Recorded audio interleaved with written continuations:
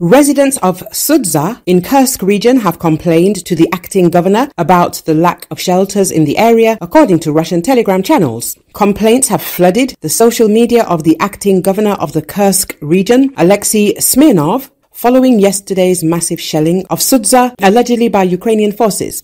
One resident's comment, cited by the Brief channel, read, When will you set up shelters? How long will you torment people? Users have also insisted on the need for concrete shelters, noting the large number of people at bus stops. In response, the Kursk region government stated that there are designated areas in the region where residents can seek refuge during attacks. Of course, there are shelters. All information about them has been published on official resources, said Yulia Abramova, head of the regional government's press office. Meanwhile, the regional head announced that all emergency services in the Kursk region have been placed on heightened alert and that medical facilities are increasing their supplies of donor blood. Recently, Russian sources claimed that Ukrainian forces conducted a series of cross-border raids into Kursk Oblast. According to these claims, Ukrainian forces were advancing towards Russian positions near Nikolayevo Darino and Oleshnya in Kursk Oblast, located northwest of the Ukrainian city of Sumy and along the Russian-Ukrainian frontier.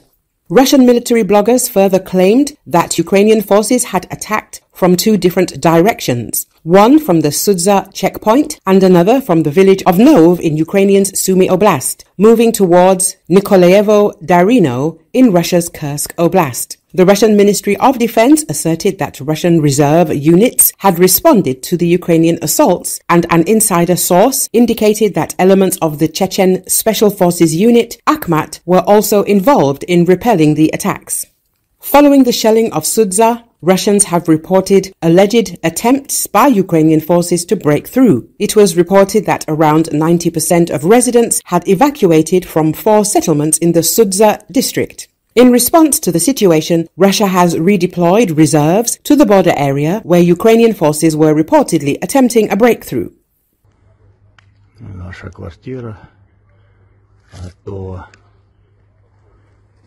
Что творится? Ужас.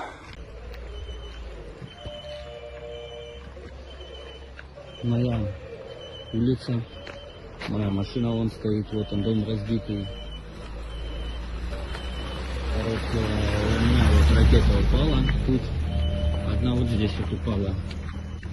Бэхи пизда. По моей машине асфальт. Короче, вот так вот.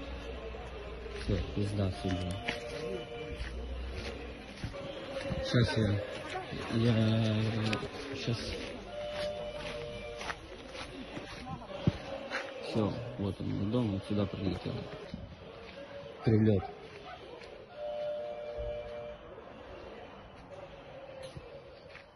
Вот машина стоит, там на машине асфальт лежит, бэхи пизда на перекрестке.